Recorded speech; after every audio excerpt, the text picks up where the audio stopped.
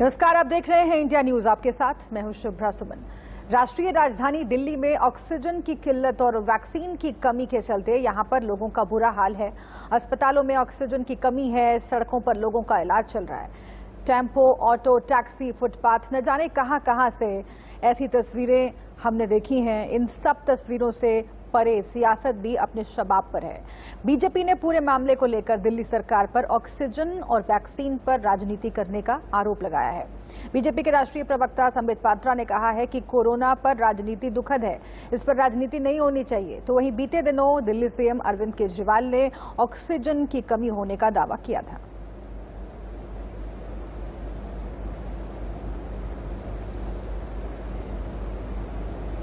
तो हम आपको सुनवाएँगे। क्या कहा है बीजेपी ने और क्या कहा है आम आदमी पार्टी ने? लेकिन इस सियासत के बीच जो पिस रहा है, वो है आम आदमी ये तस्वीरें। आप देखिए दिल्ली में।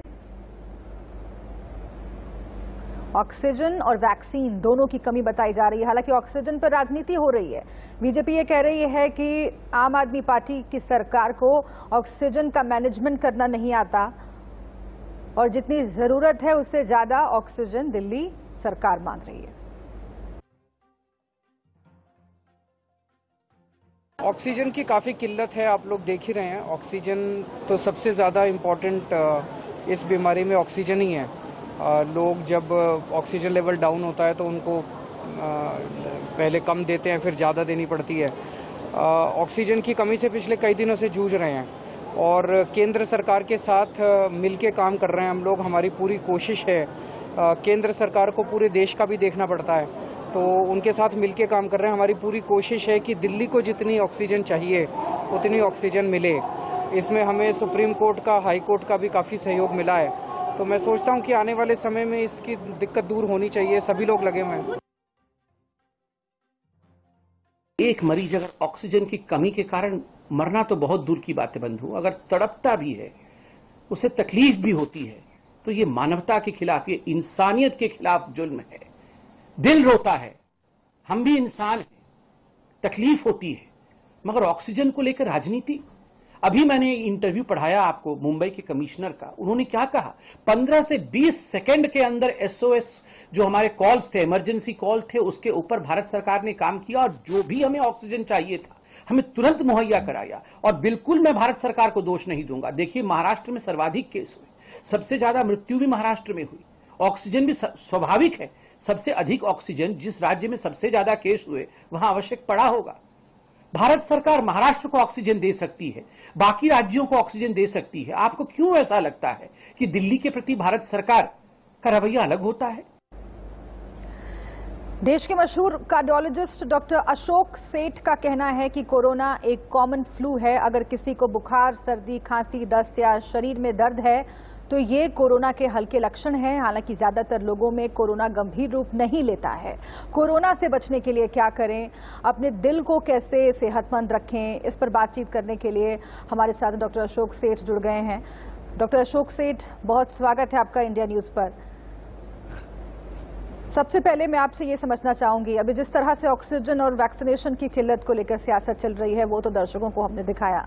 लेकिन इन सब के बीच एक अच्छी खबर, राहत भरी खबर ये है कि देश के अलग अलग इलाकों में जो संक्रमित मरीजों की संख्या है, उसमें कमी आ रही है और रिकवरी रेट भी बढ़ा है। आप इसे कैसे देखते हैं? क्या ये मेंटेन रहने वाला है आगे आकर? या फिर जो टेस्टिंग कम हो रही है, उसकी वजह से भी ये आंकड़े सामने आ सकते हैं? नहीं, ये तो ज़रूर हुआ और मैं दिल्ली की बात ज़रूर कर सकता हूँ कि ये जो तीन महीने, तीन हफ़्ते हुए हैं, मैं इनको लॉकडाउन नहीं कहूँगा। इनको कहूँगा कि imposition of strict restrictions on unnecessary gatherings या अननेसेसरी क्राउडिंग या इंट्रोड्यूसिंग कोविड अप्रोप्रिएट बिहेवियर यही तो हुआ कि लोगों का आना जाना इसलिए कम किया गया कि अननेसेसरी एकत्रित ना हो। और उसमें सर्टनली हम फिगर्स को ही नहीं, हम अपने आप को भी एक्सपीरियंस करते हैं। अस्पताल के बाहर जैसे एंबुलेंस की खड़े लाइनें लग जाती थी, लोग लोग अनफॉर्चुनेट भी बीमार होके आ रहे होते थे क्यूज लग रहे होते थे कोविड पेशेंट्स के वो कम होते जा रहे हैं। तो as a front line warrior one can actually feel the difference हमें पता चल जाता है जब वेव्स आती हैं और धीरे धीरे कम होती है। इसी तरह हमारे जितने फ़ोन कॉल सौ फ़ोन कॉल्स आ जाते थे लोगों को संक्रमित होते हुए वो धीरे धीरे कम हो रही है। सो so, यस yes, ये एक बहुत इम्पोर्टेंस है कि ये ये ठीक है कि दिल्ली की कम हुई क्योंकि वो ये इम्पोजिशन ऑफ़ रिस्ट्रिक्शंस हुई। बट वेव तो धीरे धीरे हर पार्ट ऑफ़ द कंट्री चलती रहेगी और वो फिर गाँव छोटे शहरों में और गाँव में भी जाएगी। तो इम्पोर्टेंस बात ये है कि जिस तरह से हमने कोविड अप्रोप्रिएट बिहेवियर अनफॉर्चुनेटली उसके लिए हमें रिस्ट्रिक्शंस और सिवियर रिस्ट्रिक्शंस और कर्फ्यू डालने पड़ रहे हैं। अगर यही हम खुद ब खुद करें तो हम उस लेवल पे नहीं पहुँचेंगे जितने कि हम इस सिचुएशन पे पहुँच गए थे, जहाँ की इतनी मौतें हो रही हैं। और फ्यूचर का यही डर है कि अगर हमें सिर्फ़ इसी तरीके से करना है तो हमें इसी तरीके से आगे बढ़ना होगा। हर चीज़ का रिज़ल्ट तो चार से डॉक्टर सेठ आपने जो कहा उसमें एक बहुत इंपॉर्टेंट पॉइंट ये रहा कि कोरोना एक कॉमन फ्लू है और जो डेथ रेट है वो काफ़ी कम है यानी कि ज़्यादातर लोग ठीक हो जाते हैं। हम भी दर्शकों को लगातार ये बताते रहे हैं कि 80 प्रतिशत मामलों में हॉस्पिटलाइज होने की ज़रूरत मरीजों को नहीं है घर पर रहकर ही ठीक हो सकते हैं। लेकिन 85 परसेंट लेकिन एक तथ्य यह भी है कि जब मरीज़ की तबीयत बिगड़ती है तो जान बचाना मुश्किल हो जाता है। इसीलिए हैप्पी हाइपोक्सिया इस टर्म का ज़िक्र करना भी बहुत ज़रूरी है। जो युवाओं में भी अब सामने आ रहा है और बड़ी तादाद में युवा इसकी वजह से जान गंवा रहे हैं। यानी कि पहले से कोई लक्षण प्रकट नहीं होते हैं। मरीज़ भला चंगा है, कोई सिम्टम नहीं है, अचानक ऑक्सीजन लेवल बहुत घट जाता है 50 तक पहुँच जाता है और उसके बाद मरीज़ की जान बचानी मुश्किल हो जाती है। इसके बारे में आप क्या कहेंगे? ऐसे केसेस के बारे में आप क्या कहेंगे? और अगर हम बैठ जाएँ निश्चिंत होकर कि ये तो कॉमन फ्लू है तो क्या गारंटी है कि ऐसे मामले नहीं आएँगे सामने? देखिए, ये इंपॉर्टेंट बात है। एक तरफ़ तो रही कॉमन फ्लू की बात। ये समझने की बात है क्योंकि इस इन्फेक्शन से अगर हुआ तो डरना नहीं है। ना 85 90 परसेंट लोगों को तो माइल्ड फ्लू होकर चला जाता और वाकई कोविड वायरस तो एक फ्लू वायरस ही है। बट इंपॉर्टेंट बात यही समझनी है कि अगर हुआ तो डॉक्टर से कंसल्ट करना, इसको एकदम केयरलेस होके न ट्रीट करना, इसको समझना और क्लियरली डॉक्टर की डायरेक्शन या परव्यू में रहना। ऑक्सीजन की आपने बहुत इंपॉर्टेंट बात कही। क्योंकि यही चीज़ तो फॉलो अप करने की है। चाहे वो डरने की बात नहीं है बट अगर हम दिन में चार बार ऑक्सीजन चेक करते हैं, छह मिनट वॉकिंग या एक्सरसाइज के बाद करते हैं तो हम ऑक्सीजनेशन को डाउन होना पहला साइन है कि वो माइल्ड फ्लू के सिम्टम से ये सीरियस हो सकता है। पेशेंट को नहीं महसूस होता। पेशेंट को फिर भी ठीक लगता रहता है। अनलेस कि वो ऑक्सीजन सैचुरेशन मेजर मेजर करते रहे। इनफैक्ट ये भी देखा गया जो आपने हैप्पी हाइपोक्सीमिया कहा, या हैप्पी हाइपोक्सिया का वो यही है कि लोग की ऑक्सीजन कमी होती रहती है बट सांस नहीं फूलता है। लोग अपने आप को स्वच्छ महसूस करते हैं। इनफैक्ट जब बहुत ही सीरियस हो जाते हैं, तब पता चलता है कि ये तो कोविड लंग्स को डैमेज कर रहा था। इसीलिए close monitoring of oxygen saturation जो कि पल्स ऑक्सीमीटर के ज़रिए हो जाता है four to six hourly monitoring और एक्सरसाइज के बाद मॉनिटरिंग बहुत ज़रूरी होती है। और जहाँ ये ऑक्सीजन सैचुरेशन बेसलाइन जो आपका 97, 98 होता है वो 93 से नीचे पहुँचना शुरू कर जाए तो पहला साइन होता है कि लंग्स पे इफ़ेक्ट है। अगर डॉक्टर से टच में रहते हैं तो डॉक्टर को साफ़ पता चल जाता है कब वो टाइम आ गया है कि इस टाइम पे आप अस्पताल आए आपकी ट्रीटमेंट अस्पताल में हो घर पे न ट्रीटमेंट होते रहे जो कि डिटरेट करते हुए आपको न पता चले और लास्ट मोमेंट पे आए ये इस टाइम पे इतने इसलिए भी इम्पोर्टेंट हो गया है जी। कि इस टाइम पे ज़्यादा वेरुलेंट वायरस है इस ये हमने देखा कि लास्ट टाइम जो हमें टाइम देता था इस बार कई लोग हम कई यंग युवा को देख रहे हैं जो एक दिन जैसे ही 93 94 पे पहुँचे और सडनली डिटोरेट होके हम्म। अगले दिन बहुत ही सीवियर केसेस हो। गए। डॉक्टर दो सवाल ये बहुत इंपॉर्टेंट तो, एक तो ये कि जो हैप्पी हाइपोक्सिया की हम बात कर रहे हैं क्या वैक्सीन इसको प्रिवेंट कर सकता है? क्या वैक्सीनेशन के बाद इसकी खतरा कम जाता है? और दूसरा ये कि हार्ट अटैक की समस्या आ रही है। कहा जाता है कि स्टेरॉइड्स के ज़्यादा इस्तेमाल से। बिना डॉक्टरी सलाह के अगर स्टेरॉइड्स का इस्तेमाल करते हैं तो शरीर के कई ऑर्गन्स पर बुरा असर पड़ता है साइड इफेक्ट्स होते हैं। क्या इसकी वजह से भी हार्ट अटैक के मामले so, आ रहे हैं? सो so आप, आपने तीन बहुत ही अहम सवाल एक ही क्वेश्चन में पूछ लिए और वो तीनों को मैं एड्रेस करूँगा। एक तो वैक्सीनेशन और कोविड डिज़ीज़ सेकेंडली आपका वो है कि हार्ट अटैक्स और थर्ड है स्टेरॉयड का अब्यूज तो पहली बात यह है कि यस वैक्सीनेशन एक बहुत इंपॉर्टेंट टूल है। हमारे पास सिर्फ़ तीन इंपॉर्टेंट टूल्स इस टाइम पर रह गए हैं। एक तो कोविड अप्रोप्रिएट बिहेवियर जो कि हम कह रहे हैं मास्किंग मास्किंग मास्किंग दूर रहना। मैं फिर से एम्फोसाइज ही कर देता हूँ, यही आपकी जान बचा सकता है, यही ट्रांसमिशन को वायरस को प्रिवेंट कर सकता है। सेकेंडली वैक्सीनेशन जो हमारे पास इंपॉर्टेंट टूल है। वैक्सीनेशन से इम्यूनिटी आती है जो कि अगर हम दो वैक्सीनेशन की डोजेस लें, उसके दो हफ़्ते बाद तक हम 70 टू 80 परसेंट प्रोटेक्टेड रह सकते हैं कोविड से। बट हमें यह भी समझना है कि 20 परसेंट चांस है हमें कोविड हो सकता है। तो हमें प्रिकॉशंस तो लेनी ही है कि कोविड ना हो। बट अगर हमें कोविड होगा तो वो सिवियर कोविड नहीं होगा, वो हाइपोक्सिया वाला कोविड नहीं होगा, वो हमारे लंग्स नहीं खराब होंगे। हम अस्पताल में हमारी एडमिशन के चांसेस बहुत कम होते हैं और हमारी डेथ के चांसेस कम होते हैं। इनफैक्ट रेयरली किसी की डेथ होती है। तो इनफैक्ट जो जो वही प्रॉब्लम आप कह रहे हैं, जिससे हमें बचना है, जो हैप्पी हाइपोक्सी है जो हम कहते हैं कि जो डेथ डेथ सीरियस होने के चांसेस डेथ के होने के चांसेस वही बचते हैं वैक्सीनेशन से। फाइनली सेकेंडली बात आई हार्ट अटैक्स के।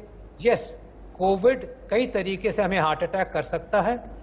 खून के थक्के जनने के चांसेस ज़्यादा हो जाते हैं। हार्ट की आर्टरीज के इन्फ्लेमेशन हो जाती है। उससे इवन यंग लोगों को heart attack suddenly heart attack हो सकता है।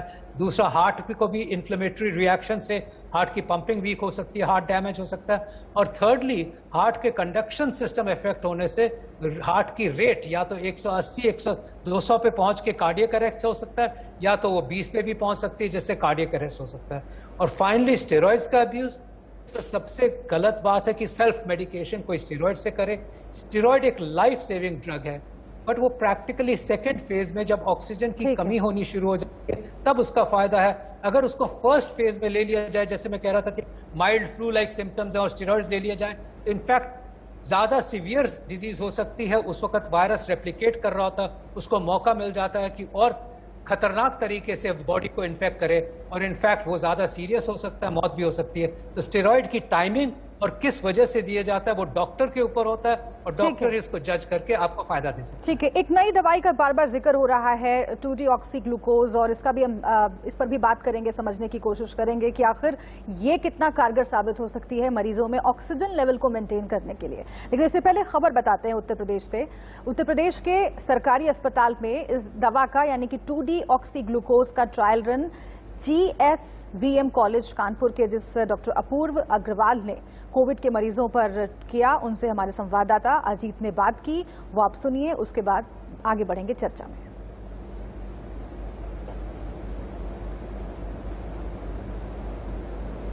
कोविड की दवाई के बारे में सुना होगा, जिस हिसाब से तमाम बातें हो रही हैं।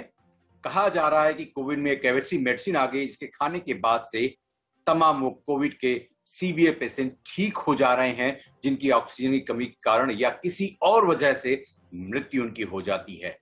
ऐसे में जो ट्रायल रन जिन जिन मेडिकल कॉलेजेस इस, अगर हम कहें तो मेडिकल कॉलेजेस में हुआ या हॉस्पिटल में जहाँ हुआ सरकारी, उन हॉस्पिटल के डॉक्टरों का क्या कहना है? जिन्होंने ट्रायल रन ये किया मेडिसिन के बाद से।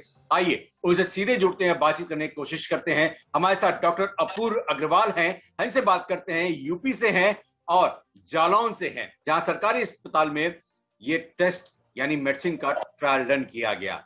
सर डॉक्टर अपूर्व सर नमस्कार नमस्कार सर नमस्कार। नमस्कार। मेरा नाम डॉक्टर अपूर्व अग्रवाल है। मैं पहले professor and head department of anaesthesia GSVM medical college Kanpur में था और अभी मेरा स्थानांतरण राजकीय मेडिकल कॉलेज जालौन में हो गया है। यहाँ पे भी मैं as professor and head department of anaesthesia में कार्यरत हूँ। आईसीयू और आईसीयू के पेशेंट्स मेरे अंडर में आते हैं मैं उनको देखता हूँ और उनका केयर करता हूँ। सर डॉक्टर जी बिल्कुल डॉक्टर मैं समझना चाहूँगा जिस हिसाब से मेडिसिन।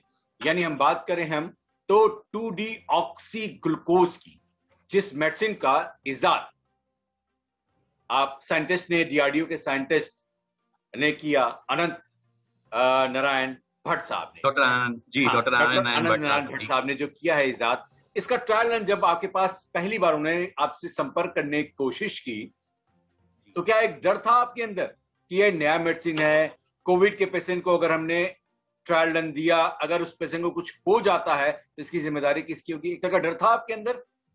जी नहीं, बिल्कुल भी मेरे अंदर इस तरह का कोई भी डर नहीं था, और इसके लिए मेरे पास कॉल सीधे, क्योंकि ये जो ट्रायल था, ये सीधे पीएम ऑफ़िस से गवर्न हो रहा था।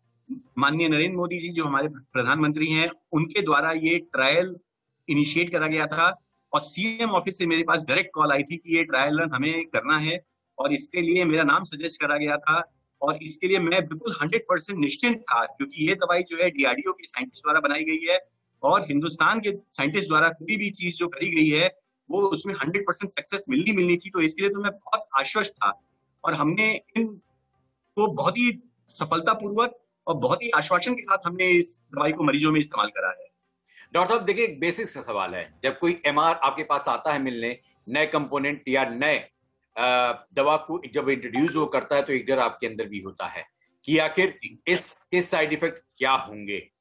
क्या ये मेडिसिन देने से क्या क्या बीमारियाँ और हो सकती हैं, या फिर क्या बीमारियाँ जल्द से जल्द ठीक हो सकती हैं साइड इफ़ेक्ट क्या होंगे राइट तो क्या इस तरह की जो डीआरडीओ की मेडिसिन जो अनंत नारायण भट्ट साहब ने जो इजाद किया है डॉक्टर अनंत कुमार भट्ट साहब ने उस मेडिसिन को देने से पहले से ये सवाल कुछ जहन में आपके आया था कि चलिए एक क्रॉस कोचिंग हम तमाम तरह से कर लें मंत्रालय से या इसकी क्रॉस कोचिंग करके हम सेटिस्फाइड हो लें। क्योंकि पेशेंट को अगर हम देते हैं तो वो भी दस सवाल पूछेगा कि डॉक्टर साहब आप क्या दे रहे हैं? क्यों दे रहे हैं? वजह क्या है? जी बिल्कुल आपकी बात सही है बिल्कुल। बट ये जो दवाई है ये एक तरह की कैंसर की दवाई है। ये पहले भी इस्तेमाल में इसका ट्रायल चल रहे थे कैंसर की दवाइयों के लिए कैंसर के पेशेंट्स के लिए। तो इसका बेसिक काम क्या है कि ये जो, जैसे जो सेल्स नए बनते हैं या नए मल्टीप्लाई हो रहे हैं सेल्स उनका ग्लूकोज जो कि एसेंशियल चीज़ है किसी भी सर्वाइवल के लिए, किसी सेल के लिए, जब उनका ग्लूकोज का, यानी उनका खान पीन खत्म कर देगा उन सेल्स का तो वो सेल्स अपने आप मर जाते हैं। यही काम ये वायरस के द्वारा इन्फेक्टेड जो सेल्स हैं, उनको मारने में कारगर है।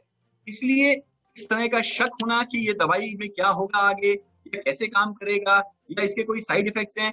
तो इसका कोई भी साइड इफ़ेक्ट नहीं है इस ड्रग का। सबसे अच्छी चीज़ यही है, क्योंकि ये ग्लूकोज की ही एक एक वेरिएंट है बस केवल। उसमें हाइड्रोजन एटम को इधर से निकाल करके थोड़ा उधर कर दिया गया है, जिसकी वजह से उसका शेप चेंज हो गया है, बस। तो इसमें साइड इफेक्ट्स इसके कोई भी नहीं है। थोड़ा सा कार्डियक साइड इफेक्ट्स अगर जिन पेशेंट्स में कार्डियक ज़्यादा बीमारी रहती है, उनमें कुछ हो सकते हैं अदरवाइज़ इसका कोई साइड इफ़ेक्ट नहीं है। तो इसलिए हम लोग को इसके ऊपर डर का कुछ खास ऐसा नहीं था। डॉक्टर अपूर्व, आपने जब मेडिसिन दी, किस समय दी, समय क्या था, वो ईयर क्या था, क्या इसी साल आपने दी ये ट्रायल रन में, कितने मरीजों को दी, क्या वो मरीजों की हालत जो थी, क्या वो सीवियर पेशेंट थे कोविड के, या फिर माइल्ड थे? देखिए, जब ये ट्रायल चालू हुआ तो ये फ़ेज़ टू ट्रायल था, और ये हमारे पास जीएसयू मेडिकल कॉलेज कानपुर में मैंने इसको ट्रायल करा था। ये ट्रायल हमारे पास जुलाई 2020 में आया, और इसको हम लोगों ने सितंबर के पहले हफ़्ते तक खत्म कर लिया था इस ट्रायल को। इस ट्रायल में हम लोगों ने कुछ सात आठ पेशेंट्स हम लोगों ने सेलेक्ट करे, जो हमारे पास माइल्ड टू मॉडरेट कैटेगरी में थे। इसके बाद ये दवाई की डोज हम लोगों ने बढ़ा करके उसको मॉडरेट टू सीवियर कैटेगरी में भी यूज़ करा है और इन पेशेंट्स में दो तरह के, एक में दवाई दी गई और एक में बिना दवाई दी गई। एक में दवाई के प्लस के साथ स्टैंडर्ड ऑफ़ केयर दी गई, यानी two deoxy glucose plus standard of care और एक में केवल स्टैंडर्ड ऑफ़ केयर यानी जो नॉर्मल ट्रीटमेंट चल रहा होता था, कोविड के मरीजों का, उनको दिया गया। तो जिन पेशेंट्स में हम लोगों ने टू डीऑक्सी ग्लूकोज और स्टैंडर्ड ऑफ़ केयर ट्रीटमेंट साथ में दिया, उन पेशेंट्स की रिकवरी जल्दी हुई। वो पेशेंट्स कोविड नेगेटिव बहुत जल्दी हो गए और साथ में जो उनकी ऑक्सीजन की लेवल थी रिक्वायरमेंट थी, वो हमारी कम हो गई। तो टू डी जो मेडिसिन है, उस पर बार बार बात हो रही है, इस पर और हम समझने की कोशिश करते हैं। डॉक्टर सेठ लगातार जुड़े हुए हैं हमारे साथ। डॉक्टर सेठ डीआरडीओ की जो मेडिसिन है टू डी ऑक्सीजन लेवल को मेंटेन करने में ये कितना आगे कारगर हो सकती है क्योंकि ऑक्सीजन की किल्लत लगातार बनी हुई है। हाँ जी सो so, इम्पोर्टेंट बात समझने की ये है कि ये एक बहुत अहम रिसर्च है। I would say that DRDO के साइंटिस्ट हमारे हम उन पे हमें उन पे हम प्राउड फील करते हैं। उनकी साइंस और उनकी एथिक्स बड़े स्ट्रॉन्ग है। इसीलिए हम बड़े खुश हैं कि ये हुआ है। इनफैक्ट अभी ट्रायल हमारे सामने नहीं है। सो so, ऑब्वियसली हमारे कमेंट्स उतने ही हैं जो उन्होंने रिलीज़ किए हैं। बट सिंपल बात यह है कि टू डी तो एक अनफॉर्चुनेट यू नो एक फॉर्चुनेटली दवा ही ना समझे इसके साइड इफेक्ट्स कम हैं। आफ्टर ऑल ये ग्लूकोज का ही मॉलिक्यूल है। और इसमें सिर्फ़ एक वेरिएशन हुआ है कि हाइड्रोक्सल ग्रुप को हाइड्रोजन में चेंज कर दिया तो हाइड्रोलिसिस नहीं होती है तो वो सेल्स में अंदर जाता तो ग्लूकोज से भर देता है सेल्स को। और उस तरह से कई सेल्स मर भी सकते, मर, मरते हैं। ये कैंसर के लिए भी यूज़ हुई थी, सिर्फ़ इसमें एक साइड इफ़ेक्ट था हार्ट का। तो इसीलिए ज़्यादा यूज़ नहीं हुई। बट ये, इसके यूजेस कई क्षेत्र में हैं। और डीआरडीओ भी सेंटर में इन्वेस्टिगेशंस में कैंसर की इन्वेस्टिगेशंस में कैंसर की इमेजिंग में भी यूज़ होता है। सो आई थिंक ये एडवांसमेंट है। अब ट्रायल के जब रिज़ल्ट सबके सामने आएँगे पीयर रिव्यू होगा तो फिर हमें और आइडिया लगेगा कि कितना ऑक्सीजन बिल्कुल हालाँकि उम्मीद की किरण तो है क्योंकि कहा जा रहा है कि दवाई के ज़रिए हाँ। ऑक्सीजन लेवल को मेंटेन किया जा सकता है और अगर ऐसा है तो कई मरीजों की जान बचाने तो में मदद मिल सकती है। बहुत शुक्रिया आपका अभी अशोक पे हमें करना हमसे बातचीत करने के लिए वक्त दरअसल इतना ही है। बहुत शुक्रिया आपको डॉक्टर सेठ। एक छोटे से ब्रेक के लिए हम रुक रहे हैं। आप देखते रहिए इंडिया न्यूज़